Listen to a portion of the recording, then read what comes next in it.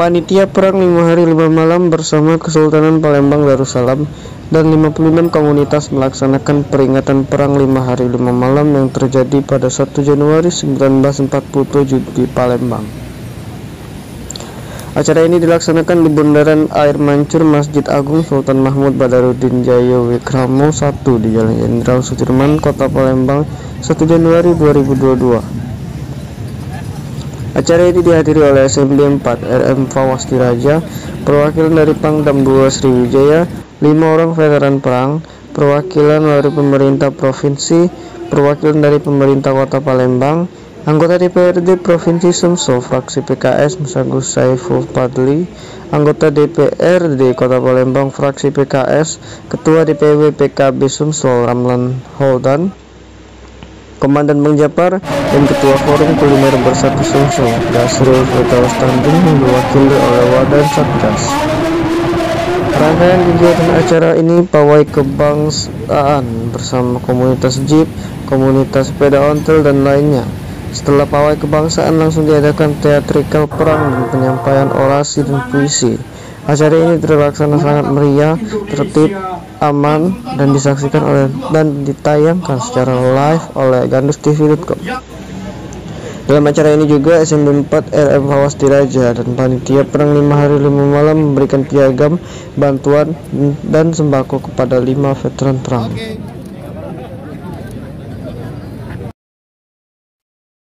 dari panitia dan juga dari para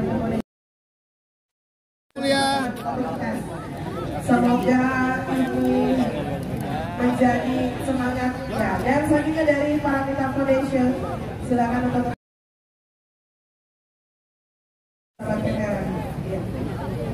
Ya, dan selanjutnya Saparudin tadi Oh ya, Bapak Syafarudin ya, nanti ya nanti redaksinya kita perbaiki. Bapak Syafarudin, selanjutnya kami minta kepada Bapak Ramdan Holder. Pak Ramdan Holder untuk memberikan bingkisan.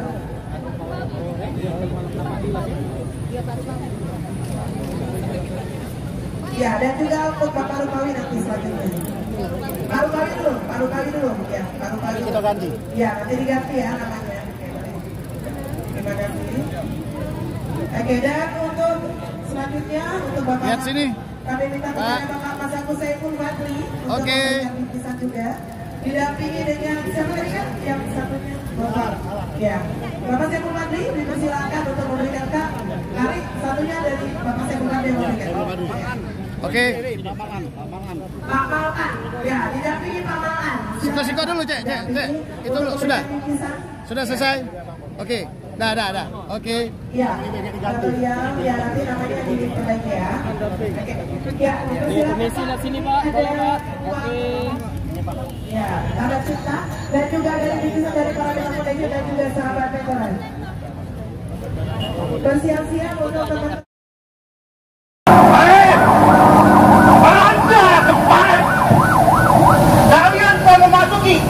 batas demarkasi yang telah kita sepakat.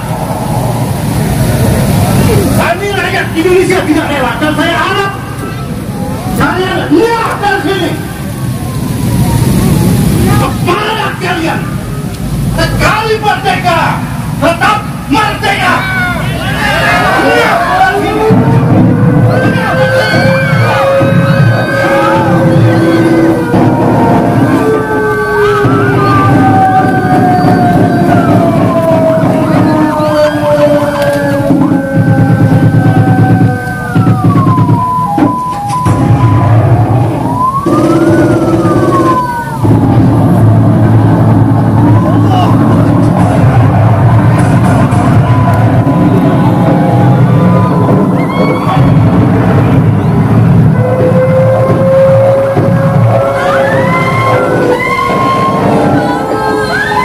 Thank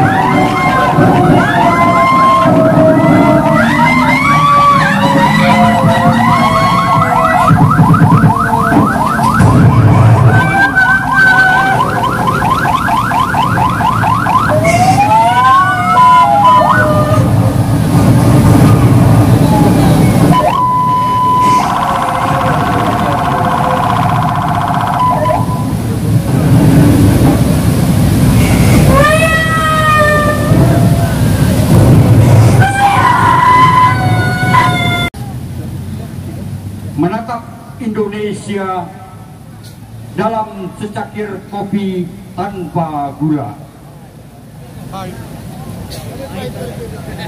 Karya Amanda Maida Lamhati. 75 tahun yang lalu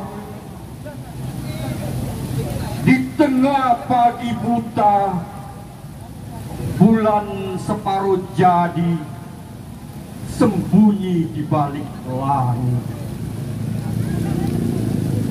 Perang itu dimulai dalam sebuah serangan membabi buta. Ribuan rakyat dan juga tentara terbunuh dan meregang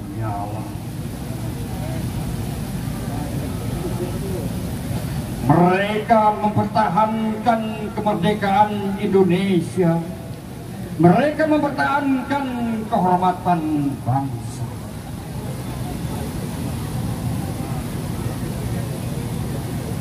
Hari ini kita menatap Indonesia dalam secangkir kopi tanpa gula.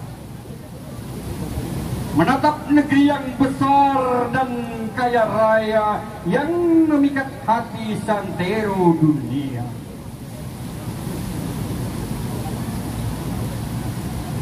Pagi ini kita diskusi tentang masa depan anak cucu kita 5, 10, 20 atau 50 tahun yang akan datang. semangat persatuan yaitu semangat ketuhanan. Tidak ada yang dibayar pada hari ini, betul? Justru Bapak Ibu sekalian yang mengeluarkan uangnya, betul? Betul. Ini karena sebuah semangat persatuan yang hadir dalam diri kita. Karena semangat ini juga yang mengumpulkan kita pada hari ini sehingga tercipta acara peringatan lima hari lima malam ini. Yang kedua adalah semangat rela berkorban. Saya yakin peristiwa lima hari lima malam telah mendarah daging dalam diri kita. Kanan kiri, kanan kiri, kanan kiri. Oh, lagi.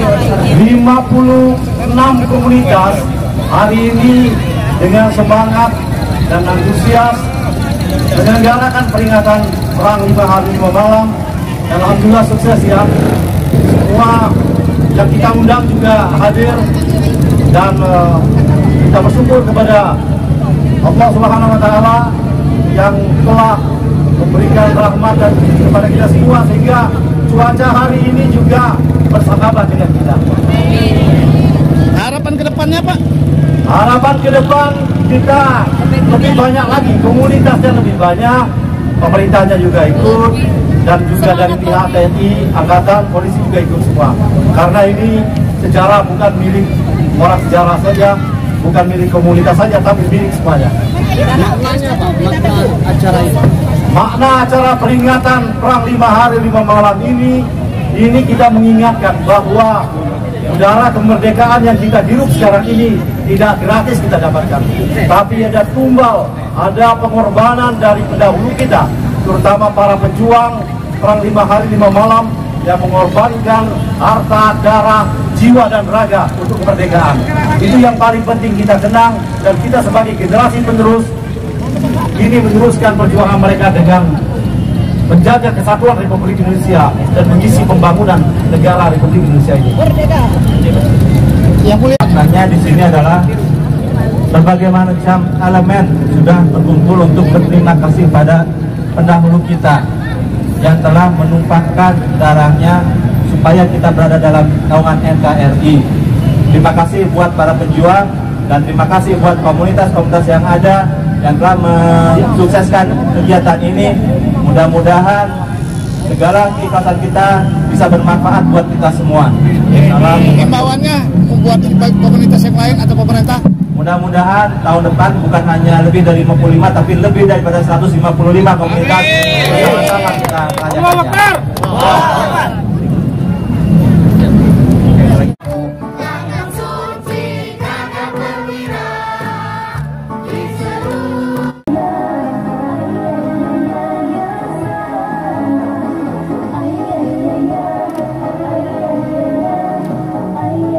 dari kota Palembang, Sumatera Selatan, reporter Ismail Gondrong, kameramen Rudi S, Gandus TV memberitakan.